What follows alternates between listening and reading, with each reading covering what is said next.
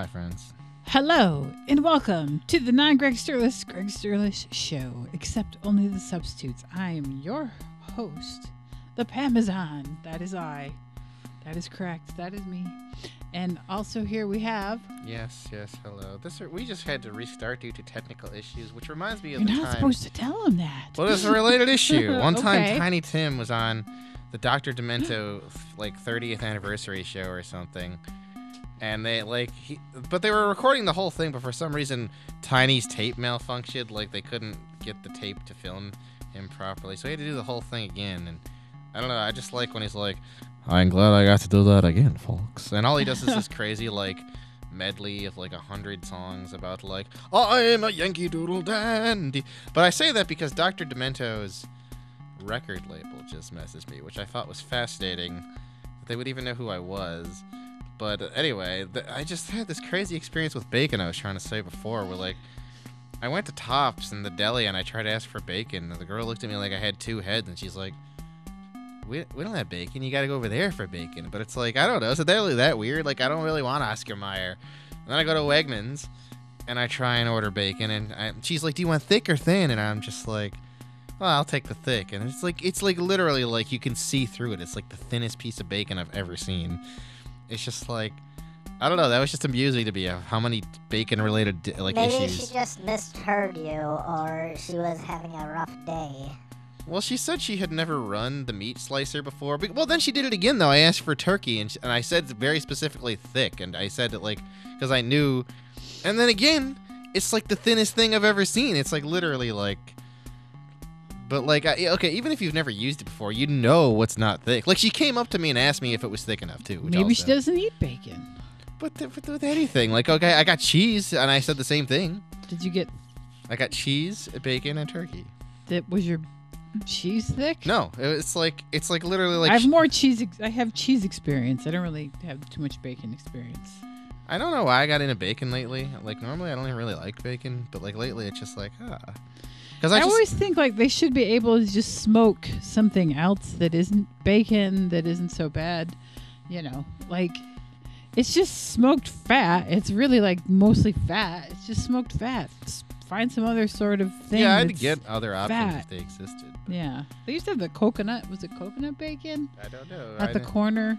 Remember the veggie bacon they had at the corner I, I when it was but Louis? I don't know what it was made out of, I thought it was coconut, but maybe I'm wrong. I don't know. but yeah, because I don't know, but uh, yeah, they only have one kind of like bacon at Wegmans that's not pre-sliced. It's from Canandaigua, but Oh, really? is. That is in the Finger Lakes, where in the vicinity uh, my family lives in. It, it is true, but It's not that close to them. It's a little bit away from them, but still, it's pretty close. yeah. In country terms. We do not eat terms. We do not eat a lot of the meats, but lately we've had bacon from time to time, and I just like just that's the whole, one of the whole reasons I get the non pre-sliced bacon is like if I wanted bacon that thin, I would just get the gross Oscar Mayer one. But whatever, I don't know. that was just weird. I know not. I know not anything about the bacon. Since, since you already let the cat out of the bag by saying we're having deck trouble, if this seems incoherent, we guess we keep getting edited back in. So yes, it wasn't sweet. It was sour, huh? It wasn't totally sour, but it had a sour taste to it, like a sour aftertaste. It was gross. I would not like um, anything like that to be sour. Like no, but imagine maybe it was old. it's maybe they chocolate, missed it on the shelf. but it's liquid and it's got like a sour taste to it. It's gross. N- no, It I don't bad. want to. That It- sounds unpleasant. And I knew I've had their chocolate mousse before, and I liked this. I, I don't know. Yeah, I've had it with the tofu. It was fine. That's expensive. I liked it. Too. I didn't want to pay seven. It's not hard to make. Just buy some silken tofu. Put put some chocolate- chocolate and some sugar in there and blend, I know. I blend feel it. like we could make it ourselves for a billion I have made cheaper. it before. That's how I know. I I, mean, just was like- like, Cheaper oh, though. Oh, I can mean, make that's like this. seven dollars for that little tiny thing. We should. I wish we had money for like a food truck. Cause like seriously, there's so much things that are like great for food trucks. chili. I know how to make the good chili. I like chili. I used to love making tiny little meat pies with onions. Those are the best. And they're good. I used to just make them, and like I'd come by, and I'd make clam chowder, and I'd just dip them in the clam chowder. I didn't usually eat the meated ones. I, I thought it was better with just the ground onion. Oh, onion pies. Yeah. I mean, I'd make the. No, it's, it's gone. It's gone. We're Okay, having is- issues. Yeah, we, we thought the deck stopped again. We're like, the deck stopped. but That was the look on our face. Was like, crap. But what I we did-? But I, you know, I'd like because like if. We keep hearing the beep, so we never know if we're going out. Sorry, friends. But I did. I was just like I, I would either make the ones with ground onions, like I would make the meat ones for whoever, and then you just kind of dip them in like clam chowder, and I thought it was good. I don't know. I think it's really good on a warm day, just like a hot biscuit with like some oniony goodness. Sorry, friends. If the beeps, if we keep looking scared, the beeps are scaring us. the the beep of fear. And, you know, I Beep, think beep, nobody beep, watches beep, beep, this. beep. But then, like, I remember going to Talties, and everybody there knew who I was. I remember that when we walked in, and they were like, blah blah blah. well, that was like that at the Blarney Castle too. oh, that was the Blarney Castle, right? When I just Yeah. used to go with Andy, because I used to play at Talties all the time, and they all knew who I was. I loved playing at Talties, but I wish they still did music at the Blarney Castle. She seemed like she stopped doing it in general, even before. Oh, really? Yeah, other than for like special occasions. Mm. But I have. I was gonna say I've never played at Tulty's, but that's untrue. I have, and um, I wasn't sure what how it was gonna go, that's a reasonable. but it went. Fu- yeah, it was fine though. I can tell you, I've seen many an illegal thing happen there. But uh, I mean, I'm not saying I definitely did, but uh, I've seen things that go on there. And I remember, oh my god, the grossest fight I've ever seen was there. It was so embarrassing. But I won't get into details because it was gross, and it was just like, oh god, yeah. No, it was it was fun. We were I mean, we were kind of, you know, not the most normal band, so that was our our fear. We were like, "Oh boy. They're a bunch of weirdos." But everybody's just like, "Oh, man, weirdos." Like I have footage of Velvet Al like running around, you know, and being outrageous and flashing his nutsack to everybody in Tudor, and they're just like, Ugh. "Oh, okay. Oh." Tudor's so gross. I got mad there because they told me I stank there, and I didn't want to go back, and then I did anyway. But it was so embarrassing. Don't tell me I stink. I didn't even think I did. I mean, I'm up there sweating on stage. What do you want? I know. What do you want? He's like, man, you gotta take a shower, man. It's like, what are you talking about? That was so rude. He said that to me and Andy, to be fair, but like, what do you want? Yeah, that's a little rude. I agree. I mean, I don't know. I, never, I asked other people there if they like, not even just people I knew. I'm like, is he like? And they're like, no, I don't know what he's talking about. Because I would have felt really bad if I was really gross. I got nothing. But that was rude. so I didn't want to go back there for a long time. I mean, they used to have really good beer on tap, but I can't drink beer anymore, so that, you know, kind of takes that out of play. It's gross there. The only reason I kept going there was because I had shows with Melise. Oh, we did the open mic there. I thought we did the. Oh, we did. Did we do the? I thought we had an actual show there, and we did the open mic at the Gypsy Parlor. Nope, we did the open mic at both. Oh, okay. Because you are an open mic fan. Because I used to play it. I used to play it every day at the open mics. I'd go to from my actual show to an open mic, and I would just play it every single day. And it was it was fun. I don't know. I feel like that's how I got like as known as I was. I just played every single day, and I went to like multiple open mics and did regular shows. And it was cool because I went to like because you could play a million places a day if you go to every open mic in the area, and then you start getting connections and people like you and you know. I don't know. Sorry. Sorry about that. Yeah, I I always feel guilty like I should watch all the people there, and you don't have that guilt. You're just like, see you later, suckers. No, I don't ever. I, I don't. I'm like, oh, I should be respectful, watch everybody, and, you know.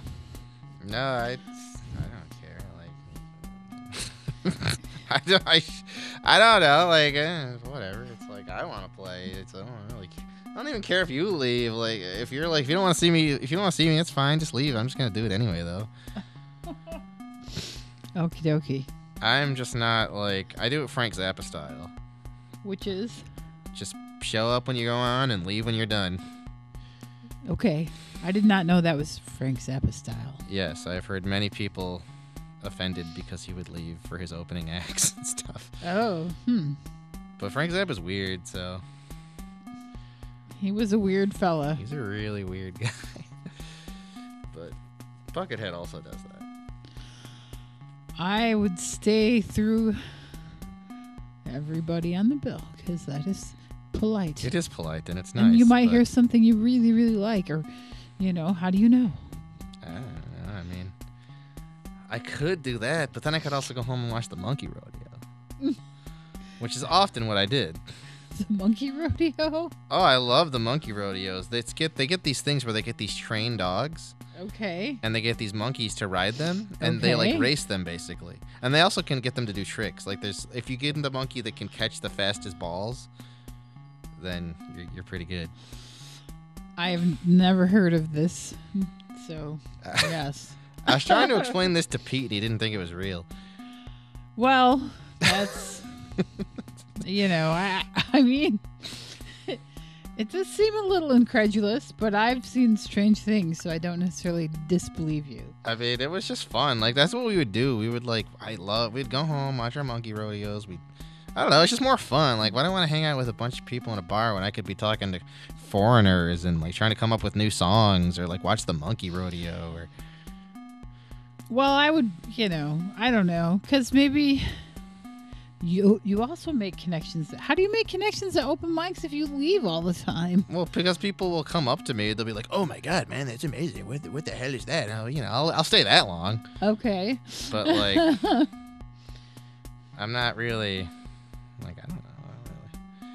That's how I, you know, I feel like that's how I got known. I played like every open mic in the area and then some, like a billion times every day. it was very fun, But Hmm. uh, and then you know, because then if they have regular shows at the place where you do open mics, then they often get you for regular shows too. right. Yes, I, I guess that could happen. That's how I got many of my shows. I used to do the open mic way back in the day at the Essex Street Pub when they had an open mic because um, they'd have a drum kit and we'd go and play. Initially, we, we didn't have a drummer and we'd show up and uh, there was only two drummers that, like, I don't know, we didn't play straight ahead rock and the other drummers were like, why does my 4 4 beat not work? But there were two, there were two that could actually uh, do it. So yeah, so we'd go there. But then we did have a drummer, and we'd still go there, and it was that was fun. That's nice. Yeah, it was always packed. That's that's the ones you want.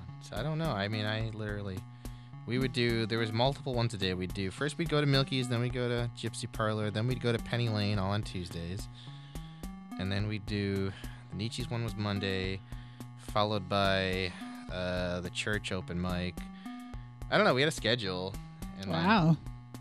We did eventually get a show at the Essex Street Pub, but um, it, it went pretty terribly, as uh, the doorman was stabbed while we were playing. So Well, that's gross. That's terrible. that was real terrible. It was very terrible. That yeah. place sucks though. Last time I was there, there was just this guy with this giant boner just standing there giggling. Oh, and that's where I saw that guy take a piss all over that guy. And he's, uh, I won't get into how gross it was, but the guy was like, What are you doing now? And he's like, You like it, you like it. And it's like, Well, uh, also one of my, you know, someone I knew left there, and they were murdered afterwards, and that was yeah, don't go to Essex Street Pub. That place, that well, I'm not sucks. telling anybody what to do with their lives. I mean, it's different owners now. I'll since tell then, him, don't so go there. I don't know. That place sucks. It, it's it's different owners. Um. Yeah. I don't know. I don't know. Your experience, your user experience may vary. I don't know. I often enjoy very seedy places just because I think it's funny to see what's going on, but I have limits. yeah. I like things with a nice hint of sleaze. Like if someone, if I go in somebody's car and they have like pink fuzzy dice or something, That sounds like a perfume. Hint of sleaze. then I get a little Just a hint. You know, not too much sleaze, but enough. Like I've been in some seedy places in LA too, and that's real sleaze. That's scary sleaze. But again, that's kind of like it's like it's like when you eat the fugu fish, you know. You got to put a little of the poison on it to give it some flavor. Just that's what gives it some No. I'm not eating any fish that can kill me. It's ridiculous. No, I know. I know. It's just fucking fish. Eat some other fish if you want to eat a fish. No, I know that makes sense. But That's my feeling about that. That That's- seems ridiculous. because that's the thing that makes sense, and that's why people die from eating fugu fish all the time. Because they are illogical. They are. Illogical. But that's that's my my thing with like places to play. it's just just a little bit of poison, just a, just a little, just enough to make it interesting to watch whatever weirdos come in. I like it being the most normal person there and still fully knowing that I'm very strange. But I like being the most normal person in the room because it just makes it more entertaining. Hmm. Okay. All right. All right. Because I don't think I'm really that weird. I almost want you to rank the bars in town on, on your sleazometer. Uh, Everybody now who's a musician is doing that in their heads. I Like, mean- let's see. Uh, There's some there's some top sleaze for sure, and some of them get a little too far for me, but some of them are just gross. I won't do it. I won't do it. No, I don't do it because Yeah. everybody knows the gross ones anyway. I mean, I don't think a lot of people know the gross ones that I used to go to because they're like in weird, obscure parts of South Buffalo. But no, I don't know. I just I miss playing at the like hundred open mics because like I feel like you really get known that way and like you really. well, get you get a lot of out there. practice, that's for sure. Yeah. And like you make so many connections and you just like like I never would have thought I would have met that one weird girl who was super obsessed with Tiny Tim and like then it turned out that like her dad was like the one of like the backup players to like some huge giant band. And then like I kept seeing her art of Tiny Tim all over the sidewalk on Hertel. And Oh. and then you know I, I don't know you just make crazy connections. Like eventually it led to me like meeting the guy from Tiny Tim's estate. But you just you don't know. Hmm. I I don't know. No, it's true. You never know what will what just will like- occur. just like you know normal shows you play like what like maybe 20 times a year I mean maybe 30 40 like but like you do open mics you're out there like Every hundreds of times Huh. Hmm. I guess that's true. I mean, for my setup, it's not very. well yeah it depends on the act I mean I would go there I didn't even need a microphone I wouldn't even use them half the time Because you're loud. Yeah, I'm loud and I'm just being bombastic. to me, it's not even. It's You about the music. He's looking at me like, please. But I'm really more of an John entertainer. all over. I'm not trying to be like. I am by no means artsy. He's stuck. I. you're not artsy. uh, no, you just, you're drawing all the time. You no, sing. in, in my in my like performance though, like I don't want it to mean anything other than hey, isn't this entertaining? He's stuck on the arm now. It's not that I'm not artsy, but I have no problem with being extremely lowbrow. I would move you, but you're a nippy bastard. And uh, I don't. I have to- artsy musical projects I do. But for the most part, I, when I'm performing live, the whole aim is just to be on. extremely entertaining. Like, I don't really. I don't want too much extraction of, like, some deeper meaning. When I'm just singing about how much I love this giraffe, it really just means I love the giraffe. There isn't a secret meaning about the state of the world there, because I think there is, John. I there mean- is. I don't think so. I mean, I kind of like. I just. I want it to be like the most baseline kitsch level music ever. Because I find that amusing. Because people try so hard to look so deep and so like. It just comes off as so pretentious that I literally want to be. I think the meaning is that I'm specifically trying to be the exact opposite of pretentious. Okay. Like when I'm doing out, when I'm out going out there and singing about Folgers, it's not some kind of like deep statement on capitalism or anything. It's like it's literally just about Folgers. Well, you do. You did grow up next to Folger Street, so I mean, there could be some other psychological meaning there. There probably is. I'm not even gonna deny that there's some like. I think it's my rebellion against how much, like, I really don't want to be seen as some like like artsy person because I but but ironically I do because I like being artsy in most other ways. I have extremely artsy and like pretentious other projects. But even with my art, with my comics, I try so hard to be over the top and just appeal to like the most baseline senses of just like pure violence and cartoony mischief. I like I just like the idea of it being just totally bombastic and having literally no meaning outside of its face value.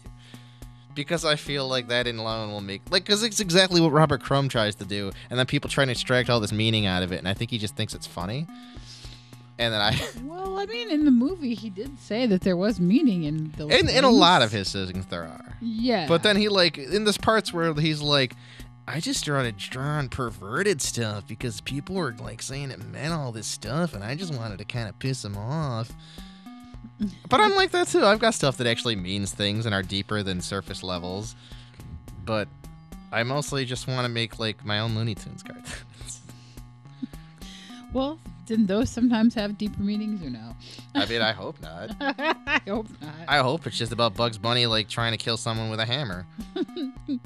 Because because sometimes you just want to do someone in with a hammer. Yeah, like I don't know. I don't have any problem with art that means things, but like I feel like everyone tries to make it be like this super deep, thoughtful thing, and I like why do we have to ignore these like baseline desires of like just watching something that's funny because someone gets hit with a mallet, or that it's it's funny that like why like why it's like people are trying so hard to look so much deeper when it's like why do you have to? Why can't it just be enjoyed maybe that's the deep meaning it secretly is a deep meaning and that i'm making a statement that everything has too much meaning so just here it just throw a pie for god's sake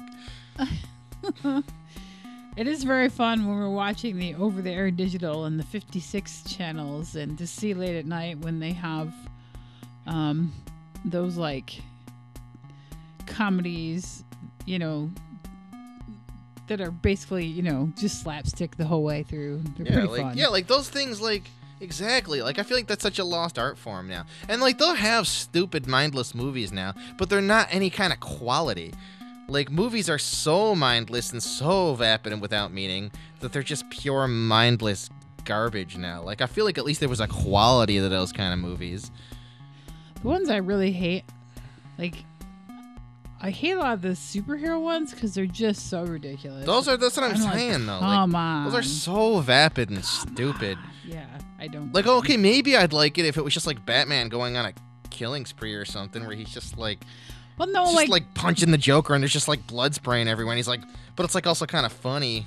I don't know.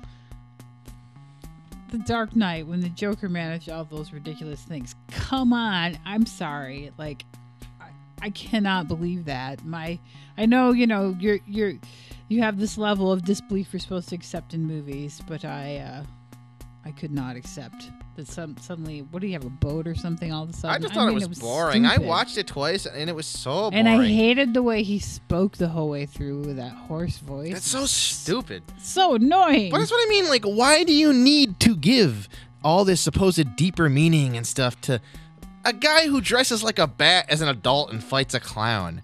That's just funny on its own. You don't need to give that meaning. It's already serious, very John. funny. Very serious. But I know, like, yeah, I was like the only person who hated it. A lot of people really got pissed at No, me I know. I I thought like it it was either. stupid. I also thought it was pro Bush and pro war because you know the Dark Knight did all the things Bush was doing, but he was really the hero. And they're like, no, but everybody hates him. I'm like, yeah, but the movie still frames that he did the right thing. yeah, that movie sucked. It just- Duh. I didn't even get that much out of it. I get people to so call boring. us and say how much you love that movie and what jerks we are. That's fine. Whatever. I mean, like, I don't know. Like, why? I just like like the '60s Batman. Like, 'cause that's exactly what's good. It's just a guy who's like 40 years old in a bat suit.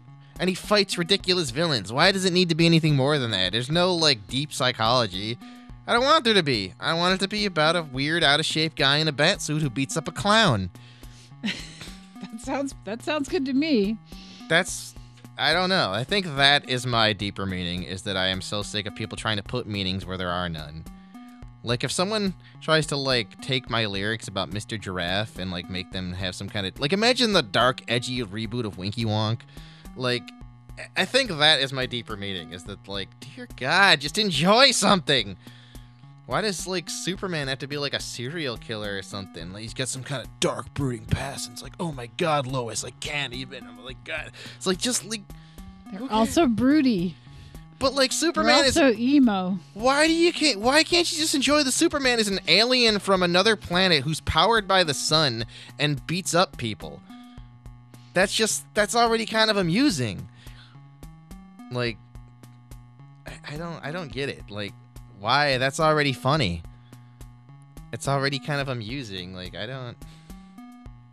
I don't. I don't know. I'm not saying nothing can be like deeper or have some kind of layers, but like sometimes you don't need it to be. Sometimes you just need the guy in the bat suit to punch the clown. And then, I he- agree. like, okay, like, I don't know. And then, like, you know, I, I like things that have deep meaning, but I also like mindless stupidity sometimes. It's just kind of funny and, like, I don't know, like. But then, like, there's things like Beavis and Butthead where it's extremely intelligent and there's so much subtlety and commentary in it, but it's just wrapped in this thing that makes it appeal to, like, idiots that don't really understand the commentary it's saying. Well, that's very clever when you can do that. and like that's exactly why I love Beavis and Butthead.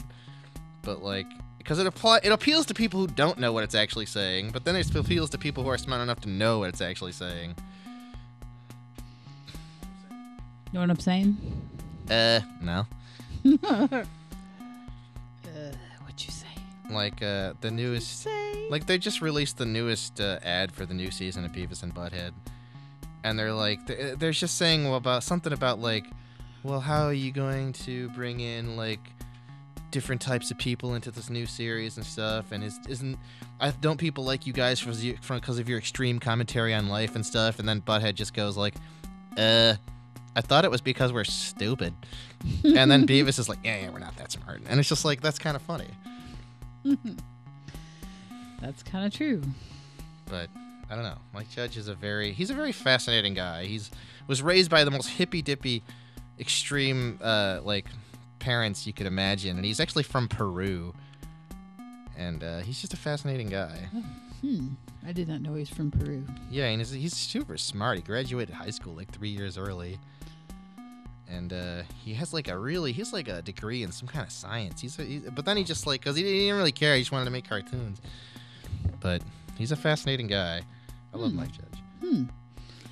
Yeah, you had never, um, you'd never seen that that movie he made until recently, Idiocracy. That was very yeah. Depressing. It was, but also funny. Very depressing, as we see it play out in real time.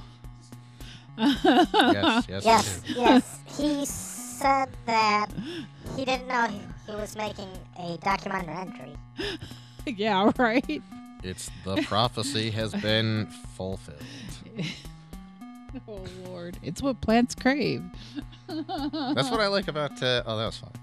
That's what I love about John K too. I feel like John K can manage the same thing in his own cartoons, where it's like clearly just like stupid, but it's also like the undertone is that the people behind it are like smart enough to like, okay, but what does this actually mean? Like, come on, and it's like, but you're like the people not smart enough to see that can still just enjoy it because it's an insane cartoon character just like screaming psychotically. Yeah. Well, But that's exactly why I like it. It's like if you can get subtlety in there, it's fine if it's subtle.